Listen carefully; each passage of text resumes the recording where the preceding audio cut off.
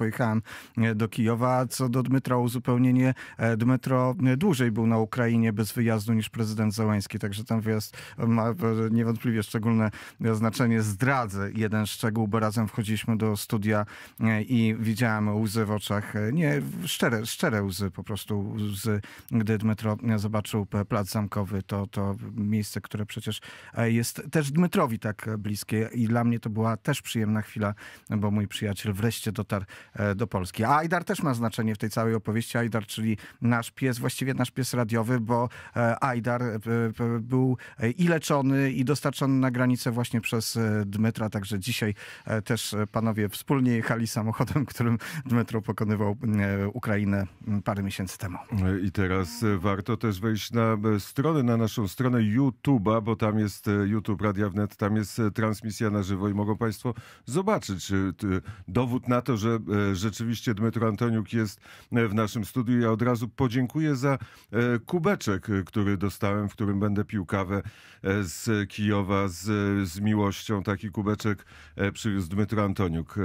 Mikołaj, można powiedzieć, prezent świąteczny. Dmytro, bardzo serdecznie dziękuję i od razu Państwu, państwu przypomnę, że dzisiaj o godzinie 17 w Warszawie przy ulicy Foksal 3 przez 5, czyli w domu dziennikarza e, jest spotkanie Dmytro Antoniuk razem z książkami, razem e, z kalendarzem, który, e, który sam własnoręcznie wyprodukował, czyli są zdjęcia Dmytra, to są zabytki, to są polskie pałace, które gdzieś są rozsiane po całej Ukrainie. Godzina 17, Foksal 3 przez 5, Stowarzyszenie Dziennikarzy Polskich, ale teraz wejdźmy w tą wielką politykę, czyli, czyli w przemówienie i wizytę e, prezydenta Zełęńskiego w Waszyngtonie, spotkanie z prezydentem Bidenem i wystąpienie w kongresie. Posłuchajmy krótkiego fragmentu tego wystąpienia.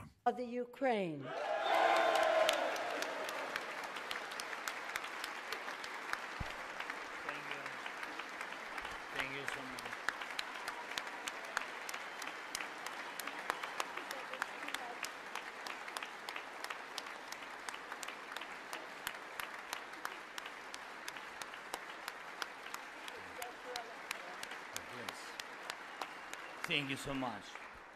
That, thank you. It's too much for me. All this for our great people. Thank you so much.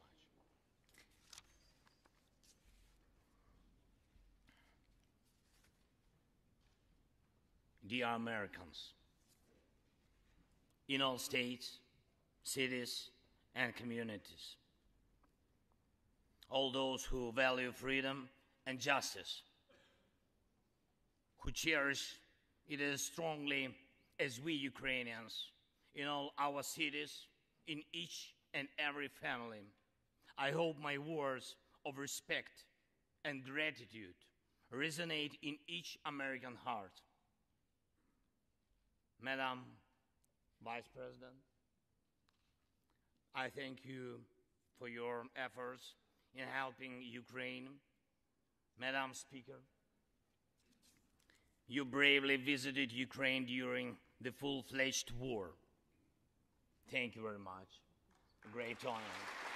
Thank you. Tak rozpoczęło się przemówienie prezydenta Zełeńskiego w kongresie e, amerykańskim. Było pełne, e, pełne symboli, ale komentarz do tej wizyty e, dwóch wspaniałych specjalistów od tego wszystkiego, co dzieje się wokół Ukrainy i na Ukrainie. Paweł Bobowicz, Dmytro e, Antoniuk. Obaj pokazują na siebie, kto rozpocznie. Damy ten przywilej Dmytro e, Antoniuk, wizyta prezydenta w Stanach Zjednoczonych. I e, ja uważam, że to jest no, potężny oczywiście symbol, potężny polityczny taki krok i dla wielu Ukraińców to jest e, bardzo istotne i ważne. E, I dla mnie też. E, to, co prezydent jest w kongresie, że spotyka się z te, tymi dostojnikami w Stanach Zjednoczonych. Mam nadzieję, że ta wizyta przyniesie Ukrainie pomoc, która nam jest bardzo potrzebna. Ja w tej chwili mówię na przykład o broni e, takiego typu jak rakiety typu Atak MS, które mają zasięg na przykład 300 kilometrów. E, takie pewno będą też efekty wizyty, ale przez chwilę o e, symbolach, bo to symbol, e, który jest bliski zarówno dla Dymytra, jak i Pawła. Prezydent Zełęński zostawił w kongresie flagę Ukrainy, którą przywiózł z Bachmutu z podpisami ukraińskich żołnierzy. To spróbujmy w ogóle tych kilka symboli wymienić. Po pierwsze, istotny element to jest pierwsza i jedyna wizyta przecież w tym czasie prezydenta Zełęńskiego, wizyta zagraniczna. Zełęński nie opuszczał terenu e, kraju i to było wiadomo, że e, chodzi o to, żeby pokazać, że cały czas jest z Ukraińcami. Na taki krok do tej pory e, się nie zdobył, więc wyjazd do najważniejszego sojusznika w, w tej wojnie ma oczywiście to znaczenie symboliczne, pokazuje wyraźnie, że Stany Zjednoczone są takim krajem, któremu można wierzyć, na którym można się wspierać, ale że jest też taki moment, który wymusza też rozmowy bezpośrednie z sojusznikiem, bo niewątpliwie wszyscy, to nie chodzi tylko o specjalistów, mają świadomość, że najważniejsze jest to, czego nie wiemy, o czym e, rozmawiano w, sposób bezpośredni. E, wspomniałeś o oklaskach. 21 razy było e, przerwane wystąpienie prezydenta Zełęńskiego oklaskami. I to nie chodzi tylko o to, że to były oklaski, ale chodzi o to, że obydwie siły polityczne Stanów Zjednoczonych w taki sam sposób podchodzą do Zełęńskiego. Czy są to, czy są to demokraci, czy są to republikanie. I to też ta wizyta udowodniła, że Zełęński i Ukraina może liczyć na poparcie jednych Mm, i e, drugich. Prezydent Załęski w e, takim drobnym elemencie, kolejny też e, symbol, nie przyjechał w garniturze, nie pojawił się jak zwykle, jak każdy lider, który spotyka się z prezydentem Stanów Zjednoczonych. Prezydent Stanów Zjednoczonych był ubrany elegancko i w garniturze. Prezydent Załęski był ubrany tak, jak pokazuje się na co dzień Ukraińcom, w tym takim mm, ubraniu, które nie jest mundurem, ale które wskazuje na to, że toczy się walka, a on jest głównodowodzącym w tej walce, że on jest teraz tak naprawdę nie tylko przywódcą politycznym, ale że jest też e, przywódcą militarnym i to e, w pewien sposób e, pokazał. Pamiętajmy też o tym, co wydarzyło się wcześniej. Przed kongresem przemawiała wcześniej małżonka prezydenta Zołańskiego. To ona pełniła taką nieformalną rolę tej osoby lidera, reprezentanta Ukrainy, który jeździ, ale ona apelowała przede wszystkim do społeczeństwa światowego, w tym społeczeństwa amerykańskiego. Prezydent Zełenski wyraźnie zwracał się już do świata politycznego i mówił o ukraińskim zwycięstwie. I to jest jeden z takich głównych i najważniejszych e, przesłań e, wystąpień Załęskiego i na konferencji prasowej, i w kongresie. Załęski nie wchodzi do końca w retorykę, która jest prezentowana na Zachodzie, tę retorykę, która e, gdzieś zawsze na końcu pokazuje, nawet wprost, że muszą być rozmowy z Putinem. Załęski w to nie wszedł. Załęski cały czas mówi o absolutnym, pełnym zwycięstwie Ukrainy. I w tych tezach, które wygłosił w czasie przemówienia w, w kongresie, mm, Ajdar to teraz potwierdza, być może Państwo słyszycie, ale swoim w swoim, e, na mój głos tak reaguje, też zaczyna rozmawiać. Ale potwierdził dokładnie to, że Ukraina musi zwyciężyć w pełni, że musi odzyskać swoje terytoria i to te terytoria, które sprzed 2014 roku, czyli nie tylko to, co wydarzyło się w, po, po 24 e, lutego. No i rzeczywiście ten element bardzo istotny, też istotny z naszej osobistej perspektywy, Dmetra, mojej, flaga z Bachmutu, flaga bojowa Ukrainy. To Bachmut dzisiaj jest tym miejscem, gdzie toczą się najgorsze, najcięższe walki. Walczą tam nasi przyjaciele. Nasi przyjaciele niestety też giną, odnoszą e, rany. Wśród tych jest e, bardzo bliska mi i nam osoba, która przez lata nam e, pomagała. Sniżok, zwany u nas też Karaimem, o którym wielokrotnie opowiadaliśmy. Dlatego ten symbol i gest ja też odbieram bardzo, bardzo osobiście, ale rzeczywiście jest to zwrócenie uwagi nie na miejsca, gdzie ma dojść, dojść do jakiegoś zawarcia pokoju, ale gdzie Ukraina po prostu w boju, w walce stara się obronić swoją niepodległość i odzyskać jedność terytorialną. Z konkretów y, oczywiście system antyrakietowy Patriot, który ma e, trafić e, na Ukrainę. E, kolejna transza pieniędzy, które mają wspierać ukraińską armię i życie, normalne życie zwykłych ludzi, system opieki zdrowotnej, wspierać ten system energetyczny, który praktycznie no, jeszcze funkcjonuje, tak, ale jak funkcjonuje o tym codziennie codziennie opowiada Państwu Dmytro Antoniuk. Co jeszcze możemy z konkretów wyłowić z wizyty prezydenta w Stanach Zjednoczonych? No, e, znów, przede wszystkim to są te ważne sym, symbole, o, o, których już Paweł wspominał, że e, prezydent wystąpił nie, nie, w garniturze, a tak on, jak on jest na co dzień. I to moim zdaniem jest bardzo też taki fajny, po, fajne takie podkreślenie i e, e to może spodobać się po prostu niesamowitej ilości ludzi w całym świecie. I dla mnie, ja e, też e, mówiąc szczerze, powiem, że ja nie jestem osobiście e, zwolennikiem prezydenta Zeleńskiego, ale dla mnie jest ważne, jeżeli on tam pojechał, e, ważne, że ta pomoc e, do nas e, przyjdzie i że on, jego wizyta w tym pomogła. Także to, no to dla mnie najważniejsze chyba.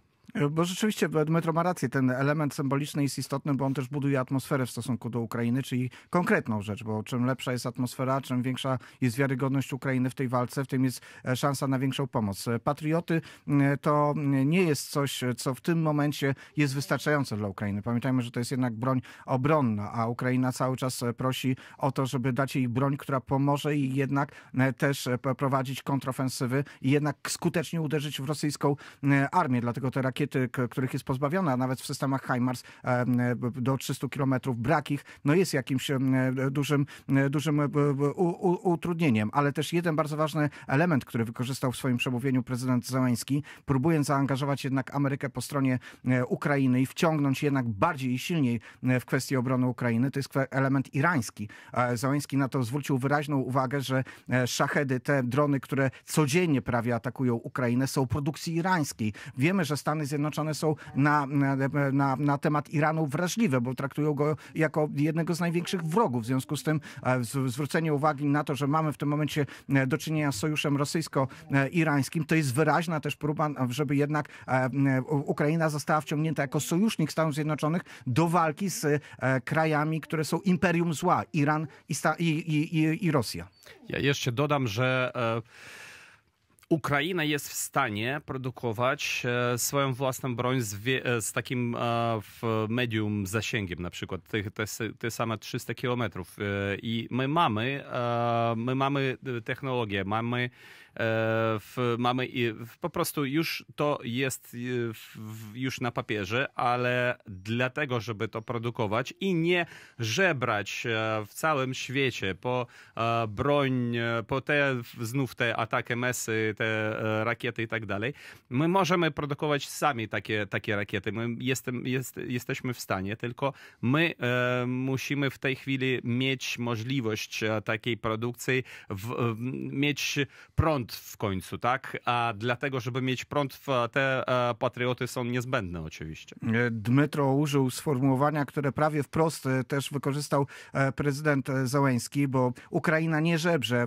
Prezydent Załęski powiedział, nie prosi o jałmużnę. E, mówiąc o tym, że ukraińska armia walczy o globalne bezpieczeństwo. To też jeden z ważnych elementów pokazania, że to, co dzieje się teraz na Ukrainie, decyduje o globalnym bezpieczeństwie i e, przesłanie prezydenta Załęskiego jest takie, jeżeli pomożecie naszym wojskom, to zagwarantujecie sobie bezpieczeństwo. I prezydent Załęski też wprost powiedział, to jest jeden z elementów wykorzystywanych przez propagandę rosyjską. Rosjanie oczywiście twierdzą, że na, na, na Ukrainie przeciwko nim walczą Amerykanie, walczą e, Polacy. Natomiast prezydent Załęski wyraźnie wskazał, że Ukraina nie chce zaangażowania e, amerykańskiego wojska, nie chce wojsk natowskich, nie chce siły żywej e, sojuszników zachodnich, że podejmuje tę walkę i jest w stanie ją prowadzić, ale musi mieć uzbrojenie. I to jest ten ważny element. I teraz jest pytanie chyba właściwie do tego, jak pytasz się, e, czy powiedziałeś o tych konkretach. No my nie wiemy, czy oprócz tych patriotów, czy zapadły jakieś decyzje dotyczące innego uzbrojenia. Bardzo byśmy chcieli. O tym się może pewnie przekonamy po prostu na polu bitwy, czyli obserwując to, co zacznie się dziać. Nie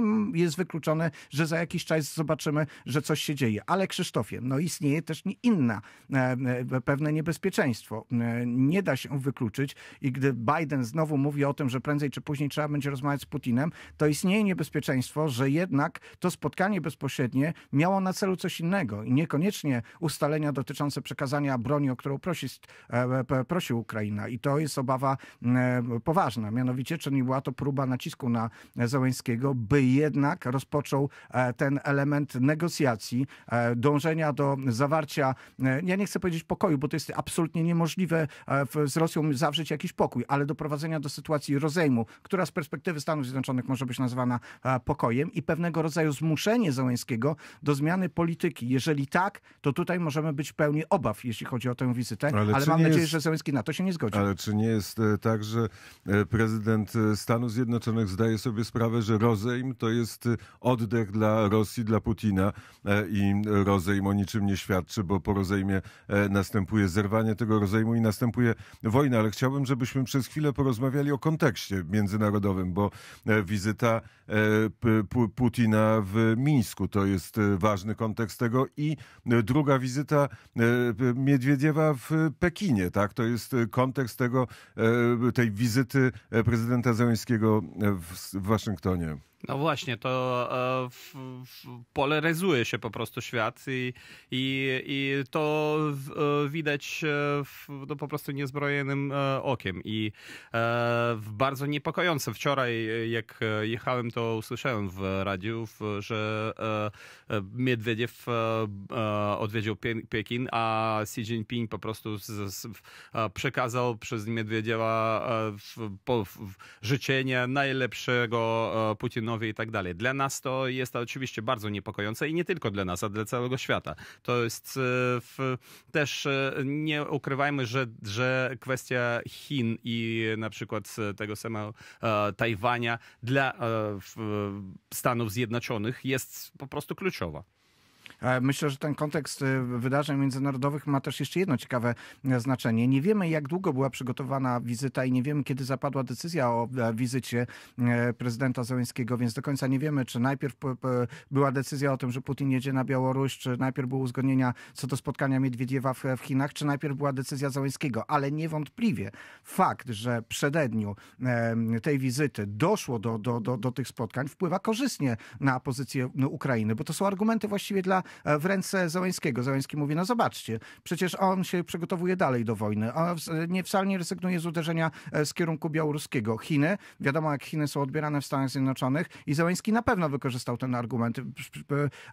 Nie toczy się ta debata publicznie, ale wiadomo, że z Chin są e, dostarczane potężne transporty do Rosji. To nawet nie musi być w tym momencie przecież wcale nie musi być dostarczana broń, żeby wspierać Rosję. Wystarczy, że to są dostarczane komponenty, że to są dostarczane produkty, które są wykorzystywane w produkcji zbrojeniowej, albo dlatego, żeby omijać sankcje. I na pewno Zełęński w swoich rozmowach wykorzystał to, że w tym momencie mamy do czynienia właśnie z tym, o czym powiedział Dmytro, z polaryzacją, czyli dzisiaj albo Stany Zjednoczone opowiedzą się po e, stronie dobra, albo wejdą tak czy inaczej w, w, w stronę zła, albo przynajmniej nie będą mu e, zapobiegać. Także można powiedzieć, że e, robiąc te rzeczy i Putin manifestując swoją siłę, no, na pewno mógł się się przysłużyć dobrze misji Załańskiego w Stanach Zjednoczonych. A sama e, wizyta Putina w Mińsku, e, jaki komentarz jest, Dmytro Antoniuk?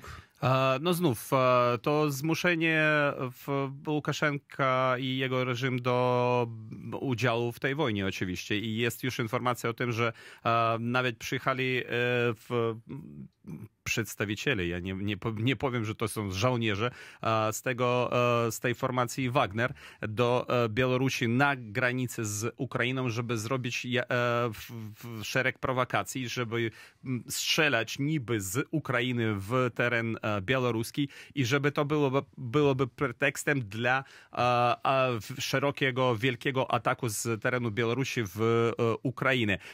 Na, w tej chwili, na dzień wczorajszy, tam na granicę z Białorusią. Przebywali razem, łącznie e, rosyjskich i białoruskich wojsk e, w, około, w okolicach 20 tysięcy, e, co jest absolutnie nie, niewystarczające dla tego, żeby marzyć o tym, żeby z, zająć na przykład Kijów albo Żytomierz, albo uderzyć w Łuck, ale to jest wystarczająca ilość wojsk dlatego, żeby zrobić jakąś zamieszkę, żeby od, od, odciąć odciągnąć, żeby odciągnąć, odciągnąć dziękuję, wojska na przykład z Bachmutu, który jest teraz kluczowym miastem, daleko nie tylko symbolicznie, a i strategicznie, bo upadek Bachmutu teoretyczny może spowodować upadek miast, które znajdują się wokół Bachmutu. Mówię o Solidarze, o, o Słowiańsku, o Kramatorsku. To jest bardzo ważny punkt strategiczny i dlatego nasze wojsko tam się broni. I a, dlatego Putin naciska na, na Łukaszenki, żeby coś zrobić, żeby, żeby było, było, było to uderzenie z północy. I to są te słowa Putin naciska na Łukaszenkę. Znaczy Łukaszenko wcale nie jest chętny do tego, żeby e, Białoruś e, przystąpiła oficjalnie do, e, oficjalnie do tej wojny i też niektórzy komentatorzy mówią, że jest coś symbolicznego świadczącego o słabości Putina, to że on musiał polecieć do Mińska, że to on nie był gospodarzem tej wizyty. Nie jestem takim optymistą. Ja cały czas mam w głowie słowa Andrzeja Poczobuta, który przestrzegał przed tym, jak, się, jak patrzymy na Łukaszenkę i przed tym rzekomym jego, rzekomą jego możliwością prowadzenia samodzielnych działań. Andrzej Poczobut zawsze mówił, że Łukaszenka realizuje politykę Kremla, a to, co widzimy, to jest po prostu gra i w pewnym sensie e, boję się, że teraz też mamy do czynienia z takim elementem e, gry. Ustalenia są jednoznaczne, ustalenia zapadły w, w, wcześniej, a teraz e, Putin też posługuje się symbolami i dlatego i w pewnym sensie wykorzystuje też Białoruś do tego, żeby tworzyć taki pozór. Białoruś jest tym łącznikiem z Unią Europejską, przecież tam dochodzi do rozmów, jednak Łukaszenka przez swoich emisariuszy rozmawia z Unią Europejską. Putinowi to też jest potrzebne, ale ja wcale nie wierzę, że Łukaszenka tutaj zachowuje pod tym względem jakąkolwiek autonomię i nie wierzę, że wizyta Putina była elementem bezpośredniego nacisku na, na Łukaszenkę. Putin ma inne możliwości nacisku, czyli na przykład wysłanie nie samego siebie, tylko gościa, który przyjedzie z pierwiastkiem radioaktywnym i Łukaszenka doskonale o tym wie, więc tam nie ma jakiegoś elementu zastraszania i tak dalej. To jest też polityka, która jest potrzebna na użytek wewnętrzny, na użytek wewnętrzno, we, wewnątrzrosyjski i wewnątrz białoruski, do tego, żeby być może spowodować zaangażowanie samych Białorusinów, którzy akurat pewnie do wojny chętni za bardzo nie są. A ja e, jednak myślę, że Łukaszenko e, chce zachować elementarną autonomię, bo wie o tym, że jeżeli e, przystąpi Białoruś do wojny, to jest, to jest koniec Łukaszenki i rodziny Łukaszenki.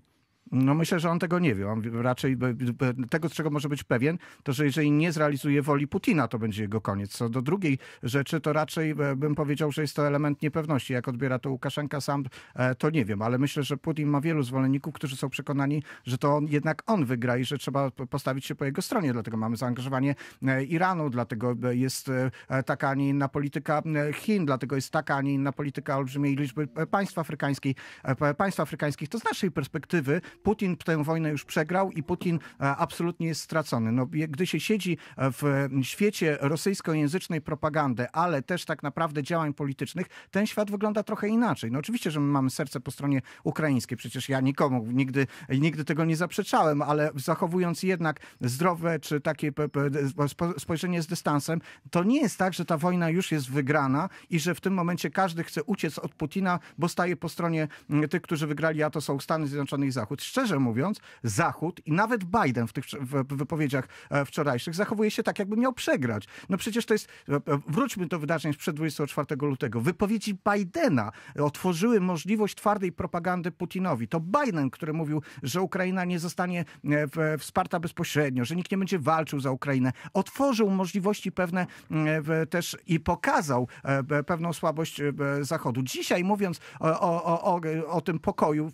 i Zachód też mówiąc o tym pokoju, robi dokładnie to samo, ale to nie tylko chodzi o to, że on się tak ustawia w stosunku do Rosji, ale do tych państw, których my, no, które my lekceważymy z polskiej perspektywy bardzo często, e, takiej publicystycznej, ale które jednak są siłą, które odgrywają rolę na forach międzynarodowych, nawet w ONZ. No przecież ostatnio jednak ten świat zachodu przegrał głosowanie z Rosją w ONZ, bo nie, nie zapominajmy o tym, że wojna się toczy i w Afryce, i na, w Ameryce Południowej, a tam wpływy rosyjskie są potężne i Zachód nie odebrał pozycji lidera Putinowi w tych sprawach sprawach.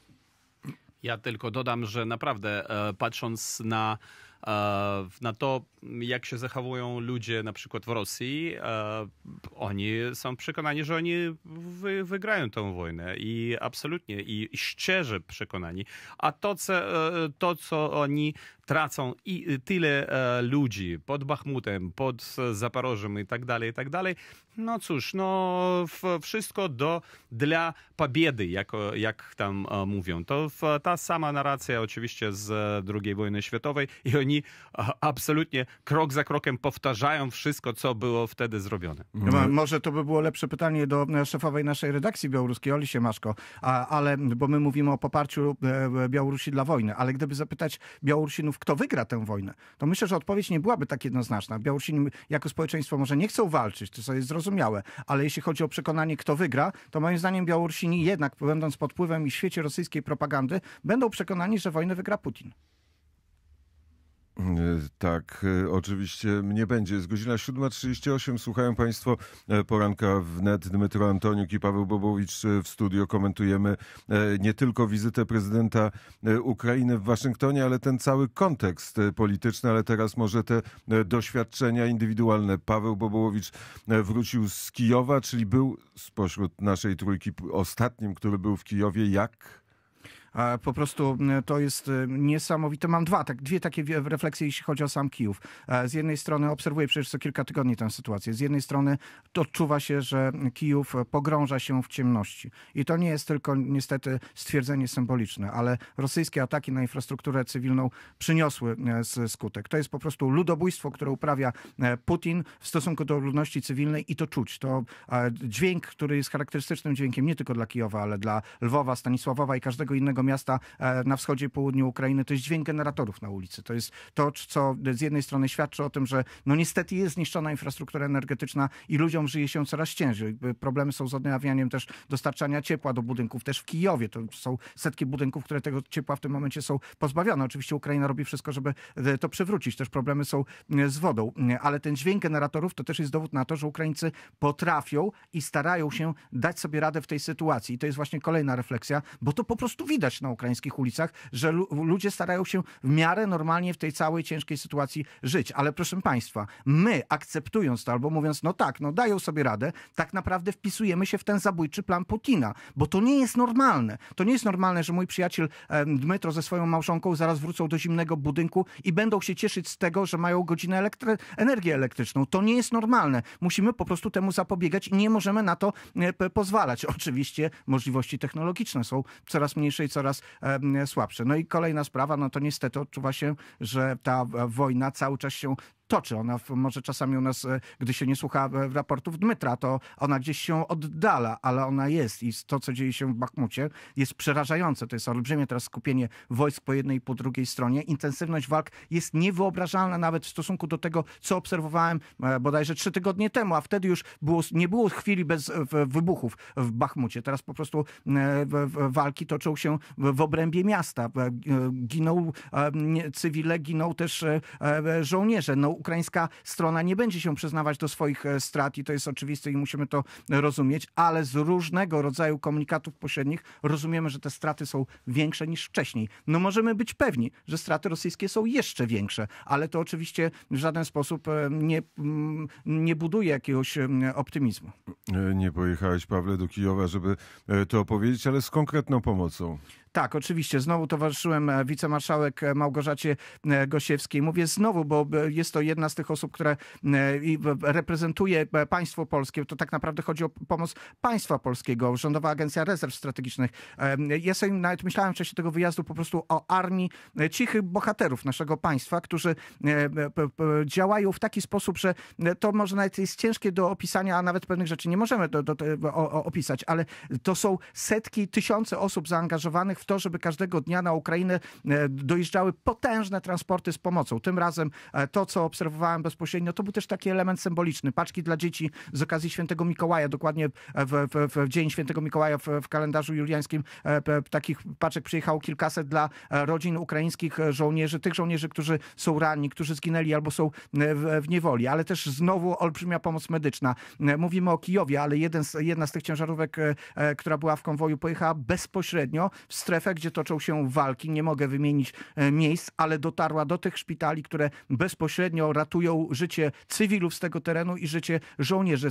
Proszę Państwa, sprzętem też nie mogę wymienić szczegółów, ale to jest ten sprzęt, o który Ukraińcy proszą i dokładnie dlatego ta pomoc jest tak ważna. No, to jest absolutnie nieprawdopodobne wrażenie, gdy widzi się żołnierzy ukraińskich ze, ze łzami w oczach, dlatego że dostają pomoc od Polski i za to, jak nam dziękują. E, Dmytro, e, zamiast słowa komentarza do tego, co powiedział Paweł, to powiedz o swoich impresjach. Tym razem z Polski e, przyjechałeś, na chwilę wyjechałeś e, z Kijowa, byłeś w Krakowie, we Wrocławiu, w Bolesławcu, nie wiem gdzie jeszcze, czy w Łodzi. Dzisiaj, e, przypominam Państwu, o godzinie 17 Foxal 3 przez 5 spotkanie z Dmytro Antoniukiem i rozmowy, i, i kalendarze, i książki, i zresztą dochód z tego będzie przeznaczony, Dmytro powiedział, będzie przeznaczony na pomoc, na fundusz ukraińskiej armii. E, Dmytro, przekroczyłeś granicę z Polską i o czym pomyślałeś? E, pomyślałem, że jak dużo światła jest, naprawdę. Byliśmy w, e, nocowaliśmy u naszych przyjaciół Polaków w Jarosławiu i wszędzie, w każdym pokoju jest światło. I my o tym tak z żoną powiedzieli, tyle światła, Mo możemy zapalić? Nie śmiało, oczywiście, bardzo proszę. No, no to e, oczywiście jak gorzko tak żartuję, e, bo naprawdę sytuacja w domu jest e, no ciężka, nie ma co ukrywać a mm, w, bezpośrednio ta trasa dała mi e, też wiedzę taką e, bardzo pozytywną, że e, jak się okazuje, dużo ludzi mnie słucha w, rano w Polsce, w całej Polsce. Na przykład pani Joanna w Bolesławcu. Wczoraj e, rodzina fałków, którym serdecznie też pozdrawiam, których dzisiaj oni codziennie mówią, że jadąc na, w, do pracy albo do szkoły słuchają, co ja mówię, e, jak relac, relac, relacjonuję tak, z e, Kijowa. I, I to jest dla mnie e, wielkie i bardzo przyjemne zaskoczenie. I mam nadzieję, że dzisiaj w Warszawie, a dalej jeszcze 27 będzie Zamość i 28 będzie Lublin, to e, przyjdą ludzie, żeby e, no, pomóc naszemu wojsku, naszym wolontariuszom, naszym ludziom, uchodźcom, na przykład z Hersonia. Ta pani e, Olena, która przywiozła 130 kotów, przypominę, to mam nadzieję, że też pomogę jej.